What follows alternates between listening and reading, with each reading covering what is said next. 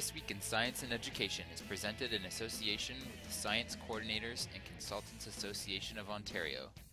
Visit their website at sccao.ca. This Week in Science and Education is brought to you in part by the University of Western Ontario, www.uwo.ca. We thank them for their support. This Week in Science and Education is also brought to you by Laurentian University. Check out Laurentian at laurentian.ca. We thank them for their support. Welcome everyone to This Week in Science and Education, episode 78. Uh, we're here with Sue Rhee, and uh, she's going to tell us all about plants. But first, I'd like to introduce our co-hosts. We have Colin Jagoe. Hello, hello. And Thomas Merritt. Hey. Perfect. So, Sue, why don't you take us away? Tell us about plants. Oh, plants are great. I mean, they're responsible for. I love plants. They're responsible for the air we breathe, the clothes we wear, and also the food we eat. Um, also, the cars we drive. You know, gas and fossil fuel come from plants. So they're cool. So Sue, you and I met last fall, I think. When was the, the when we were at the meeting in, in California? And I'm, I'm blanking on the month, but so October, November. It was a metabolomics meeting. Um, I do fly metabolomics. You do plant metabolomics. Maybe give us a, a 10th grade, 12th grade uh, definition of what metabolomics is hmm. and why the stuff that you do works so well in the model systems that you work with. Well, metabolomics, before talking about metabolomics, I should probably explain what metabolism is um, you know, the food we eat and the energy that we make that allow us to do what we want to do, you know, go sailing or um, go to school. Maybe that's not something you want to do, but um, metabolism is essential for um, organisms to live. And metabolomics is the study that um, tries to identify all of the compounds, all of the metabolites in an organism all at once.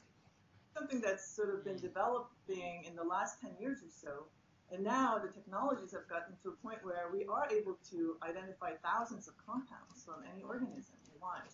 And I'm interested in studying plants because of all the cool things I already told you about. And uh, we're trying to understand how plants metabolize compounds that are important and useful for humans. So you, you don't just work on, on any plants. There are plants in particular so, yeah. that you're that your lab focuses on. So why those plants? Uh, and then maybe we'll come back to the idea of what, what metabolomics is giving us versus uh, you know a more traditional view of metabolism. So why the plants that you're working on? So uh, we started working on this model plant called Arabidopsis thaliana, which is a little weed, and I have a, I have a little pot of Arabidopsis. Awesome. Can you see? They're okay. Let's this way. They're tiny, so you can see. You know, this is actually a mature plant um, that has these little flowers. I don't know if you can see. Um, yeah, absolutely. This is a model organism. This is the fruit fly of plants because they're small, as you have seen already, and they grow really fast. You can go from seed to seed in about six weeks. And um, you know, lots of researchers in the world are working on it. Um, in this small plant, there are over eight or nine thousand labs working on this one organism and we can do so much with it these days that you know we can pretty much engineer this plant and we hope that all the findings that come out of this plant could be useful for more uh, economically important plants like like corn or soybean or rice. So then I have a question about that specific plant then, Sue. It, it, do you use it and is it used so so frequently by scientists? Like you, you mentioned going seed to seed in six weeks because it's easy to work with, uh, like in terms of, of, of, growing it quickly and having a quick life cycle. But is it also then generalizable? Like you mentioned, you hope it has application in things like crops and that sort of thing. But is what you learn from that plant generalizable to a lot of other things? Yeah, in fact, um, you know, if you think about the evolution of organisms and in the plant lineage, um, Arabidopsis belongs to a family of plants called flowering plants because they make flowers. Um, there are over 250,000 species of flowering plants today, and they all evolved around 200 million years ago, which may sound really long time, but in the big picture of evolution, we started about five or six billion years ago. 200 million years is nothing. So what that means is that all of the flowering plant, plants that include all of the crop plants are very, very close together. In fact, you know, over 70% of the genes are probably doing the same function in all these plants. So most of what we're going to learn from this model organism is going to actually apply to crop plants. Yeah, that's awesome. That's a really good point. All right, so I mean, and we've talked a little bit about model species before because I, I work on fruit flies, which is obviously you know a model species. Um, although in, in, some ways Arabidopsis, because you've got the ties directly to, to crop species, um, there are a lot of questions that you can ask in, in Arabidopsis that we don't have an opportunity to, to ask in, in flies. Although, as I say that, you know, there has been some interesting work crossing over from flies into things like mosquitoes um, because of disease vectors with, with mosquitoes. Colin, help me out here. I, am still out of breath from running down the hallway with That's my okay. PCR That's primers. Okay. I, w- I want to go back to the to the, the metabolism and sort of getting into the research. And so, can you, can you maybe give me paint me a little bit more of a picture of, of how you study metabolism and the, some of the specific pieces that you're looking at, and what you hope to gain and glean from the research around plant metabolism that can be used for other things. Sure. So um, the things that we're trying to do right now with plant metabolism is um, trying to identify the functions of all of these enzymes that make uh, compounds or metabolites in uh, Arabidopsis. Um, I should say that most organisms that we study, including the model organisms, most of the genes, we don't know what they do. So, you know, people started sequencing genomes of organisms maybe 10, 15 years ago um, and identified tens of thousands of genes in each organism. But I would say you know, maybe 15, 20% of these genes have been characterized well and we know what they do and how they do it. And so what we're interested in the most is to understand or discover um, enzymes that have not been characterized before. And the things that we're most interested in are enzymes that make um, what's called secondary metabolites, which are the kinds of compounds that plants use to defend against pathogens. But in fact, human over the last 10,000 years or so have used probably longer have used um, these secondary metabolites from plants um, to cure diseases, to feel better. So things like coffee is considered a secondary metabolite, caffeine, yeah, so, um, aspirin um, comes from right. plants as a secondary metabolite. Um, lots of anti-cancer drugs. THC, exactly. Yeah, just throwing that out there. Comes from poppies, which are very uh, popular uh, ornamental plants in I think. um, oh no, no, sorry. THC is uh, the compound that comes from, yeah, uh, marijuana plants. That's different. Wait, way to be um, super hip there, Sue. Nice, nice. Super, super hip on that one. They're, they're both popular in Canada, I believe. Top hits with the teenagers. That's what we just got here. here so, and wine. So to steer the subject, all the stuff from alcohol. I'm going to steer back to medicinal uses.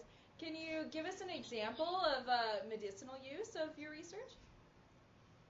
Oh, um, hmm, let's see. One example of a, a, very important secondary metabolite from plants that's used uh, to cure or to try to cure cancer is called Taxol.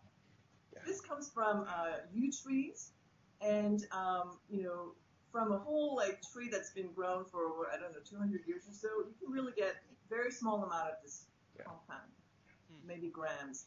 And um, so what we're trying to do is see if we can actually try to have make plants synthesize this for us, like in organisms like Arabidopsis. Mm-hmm. So trying to engineer um, pathways that will allow us to um, have plants make these useful compounds is what we're trying to study. And, and that, that is incredibly important. When Taxol was first, or when, when the, the cancer fighting properties of Taxol were first discovered, I was a graduate student in, in Oregon, and the yew tree grows in Oregon, and it, it's not a very common tree to begin with.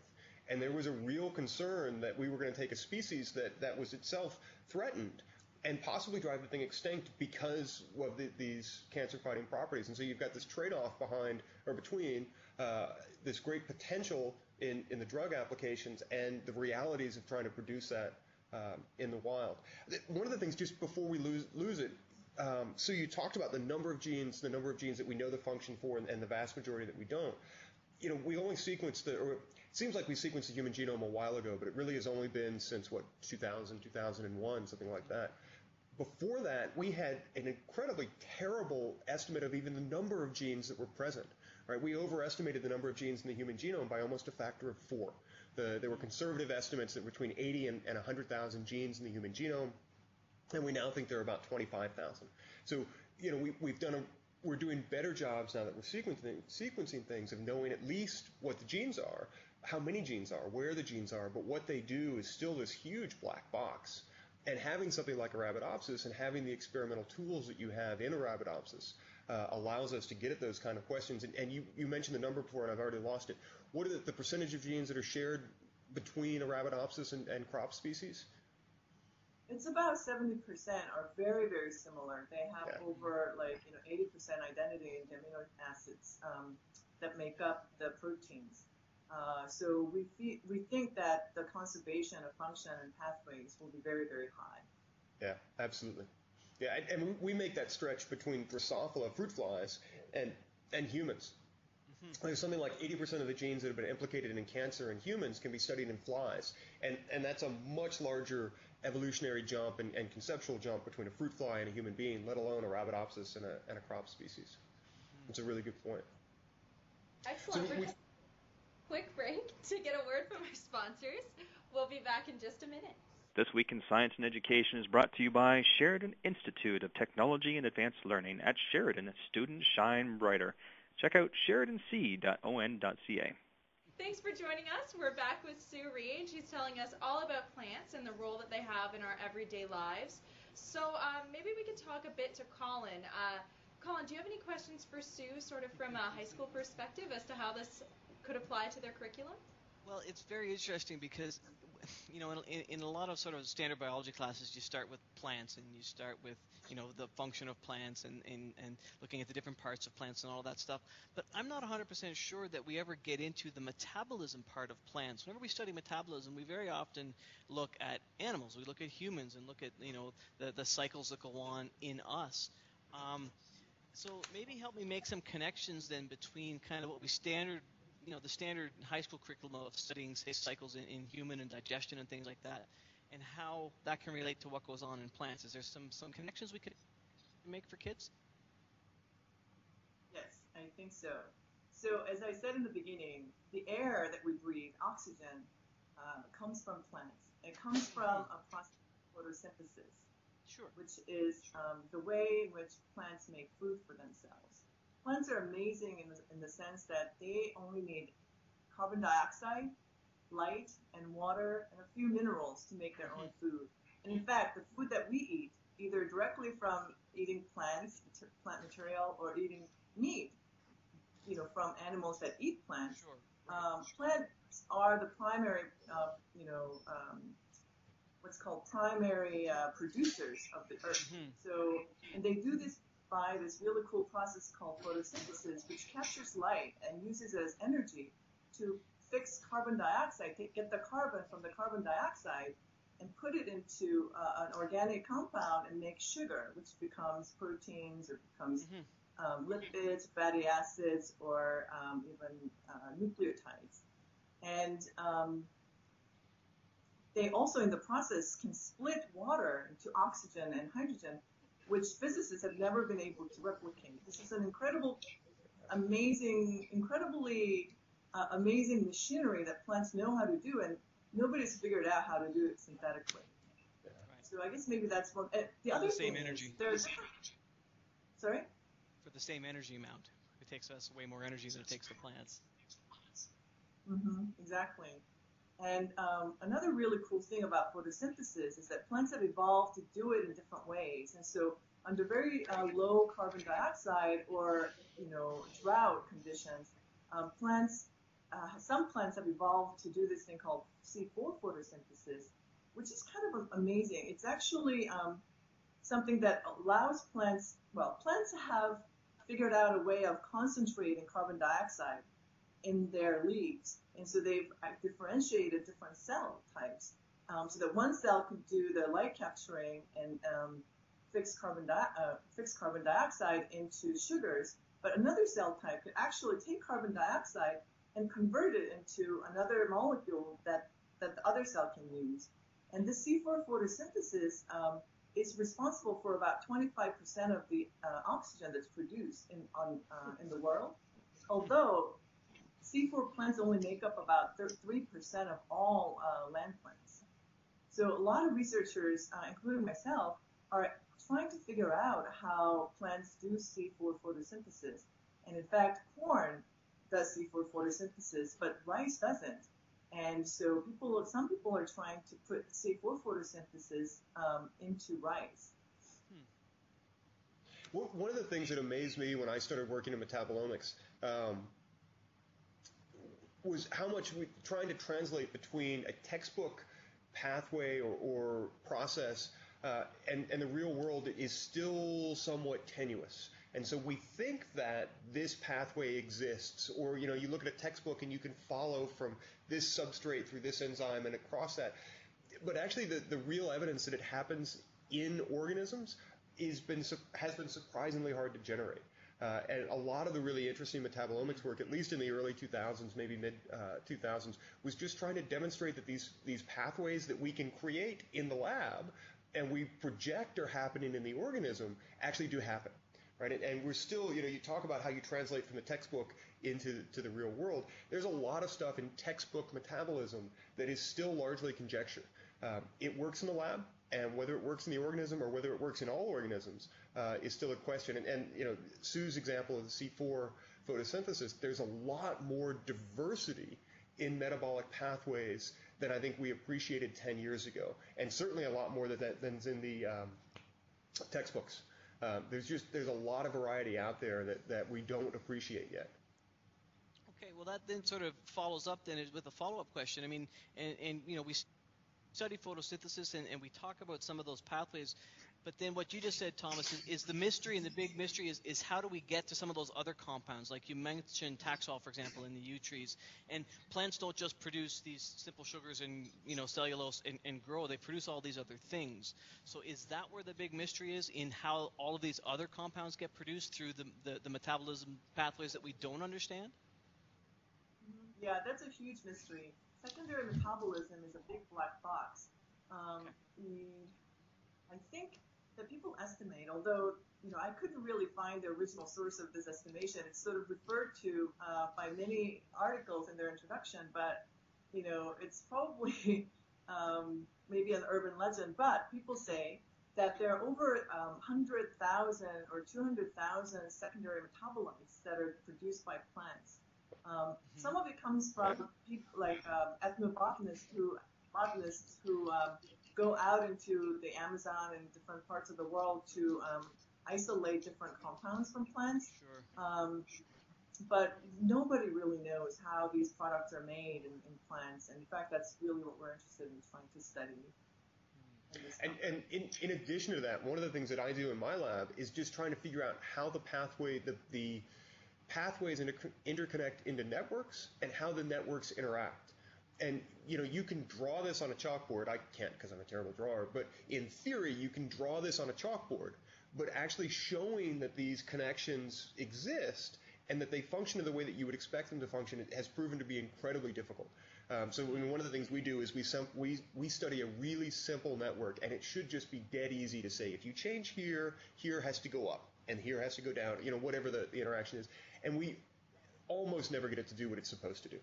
Uh, and you know, we hit it with we hit it with a, uh, a stress, we desiccate it, or we, we um, starve the fly or something, and we expect to see all these things move in this way, and, and they never do. Uh, and we can repeat it, right? So the, the, the interactions are there, but they're not in the direction that we expected them to be um, because we just don't understand the models yet. So you know, there, we've got so many different pieces that we're trying to put together. Yeah, I think this is really uh, an interesting point because you know, there were lots of activities of this sort of um, theoretical aspect of the complexity of metabolism and how it may all work. And lots of really smart people uh, in, you know, in last century, uh, before really the um, revolution of molecular biology took over, there were lots of activities of these type of theoretical biology sort of um, approaches. Um, Henry Kacser is, is one person who really started the idea of the um, studying uh, metabolism as a complex system.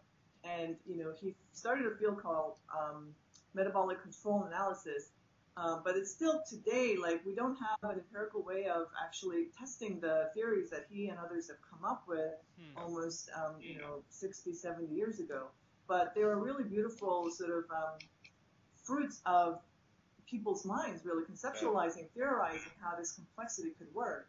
And, and um, you know, DNA structure got discovered and molecular biology came over. And um, a lot of these sort of complexity related topics kind of got, um, I guess, um, overshadowed. But I Yeah. think now with all this great um, advances in technology that's happening with, you know, sequencing, sequencing is becoming so cheap that you can sequence a whole organism, you know, with a couple of thousand dollars uh, in a day or so. So, and same thing with metabolomics. You know, I told you we can uh, measure thousands of compounds at once. Uh, it takes basically an hour or two. Uh, this probably will continue to expand exponentially. Um, and so I think it's time for us to go back to Yeah. these complexity sort of theories and try to see if we can um, really test some of the hypotheses that were put out so long ago.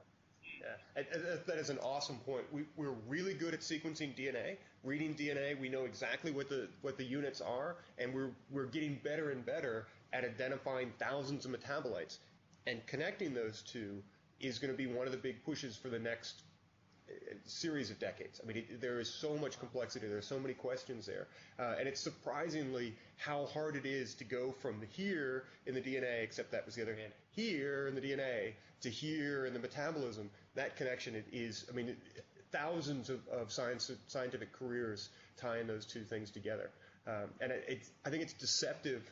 Uh, you know, you, you hear about we're going to sequence this genome, we're going to sequence that genome, we're going to sequence your genome within your lifetime, uh, and that's awesome. But knowing what that means is a much more complicated uh, system than, than we Mm. expected. Mm-hmm. That's right. And, you know, I think that uh, with all of these data and trying to really tackle complexity, um, you know, frontally, we need to use computation and programming. And this is really the bulk of the work that we do in our lab. And what's really um, promising to me, at least, uh, about this is that the, the students right now in high school or middle school, they are so they were born with computers in their in their little fingers, and so people are so students are so good at programming and so comfortable with internet and social media, which is a type of network. And so I think that you know these students will become those that will solve the the, the mm. mysteries of this complexity and this, this incredibly complex networks of metabolism or genetic interactions and whatnot. Yeah, I, you're entirely correct. I mean, I, I spent my entire entire graduate career trying to generate little pieces of DNA sequence, and you know, we we can get a thousand times more information now in an afternoon than I got in the four years I was actually doing research as a PhD student. Um, so the, the kinds of questions are, are changing, but we've got kids that are growing up with that. I mean, this is their norm. Uh, these are the kind of questions that they're used to dealing with. Awesome. Colin, anything else that we should wrap up? How do we? Is there last tie into to classes or, or I- last you know question? You, you guys sort of did it. I was sitting here thinking about, and you guys were bringing up some of these really big questions, and I was sitting here thinking exactly about what you guys ended up talking about was that these are really fascinating questions, and for, for students who are in school now, as they're saying, okay, you know, what's left to discover? Well, you guys have just shown that there's there's a lot of empty space in our knowledge, uh, you know, between between like you said, between the genome and, and, and what comes out of it. So, uh, you know what, that's that's that's exciting, and it's obvious that, that you guys are excited by the research you're doing, and you've painted a nice picture of how it's done. So, I think that's uh, that's really cool and something for kids to think about. That's great. Excellent. Thanks so much. Does anybody have anything else they want to say before we wrap up? I want to thank Sue for coming on. I really appreciate you giving us your, your perspective. It's a neat system that you're working on. Really neat system. Mm-hmm. Thanks a lot, Sue. Yes, thank you very much, Sue. so that guess that's it for this week in science and education. Until next time. Thanks a lot, everybody. Thanks. Thanks, guys.